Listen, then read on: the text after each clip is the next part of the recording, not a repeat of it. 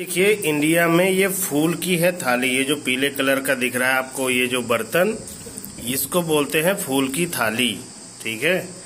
इसमें खाने से आपका स्वास्थ्य अच्छा रहता है, ठीक है? ये कटोरियाँ तो स्टील की हैं, लेकिन ये जो थाली है, ये फूल की थाली है पीले कलर की होती है,